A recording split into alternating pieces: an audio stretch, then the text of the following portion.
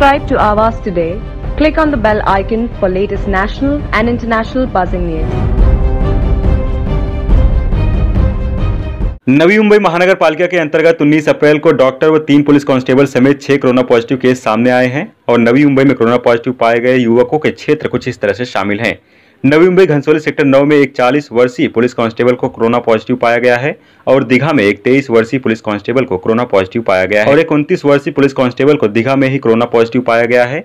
ये तीनों police constable थाने police आयुक्तालय में कार्यरत थे और घनसोली सेक्टर 16 में एक इकतालीस वर्षीय डॉक्टर को कोरोना पॉजिटिव पाया गया है। नेहरू सेक्टर 20 में एक 35 वर्षीय वाहन चालक को कोरोना पॉजिटिव पाया गया है। सानपाड़ा सेक्टर 19 में एक छाछठ वर्षीय महिला को भी कोरोना पॉजिटिव पाया गया है। नवी मुंबई में कोरोना पॉजिटिव का आंकड़ा छाछठ तक जा पहुँचा है। नवी मुंबई में कोरोना से मरने वालों की संख्या चार है। Awaaz today, bureau report. Subscribe to Awaaz today. Click on the bell icon for latest national and international buzzing news.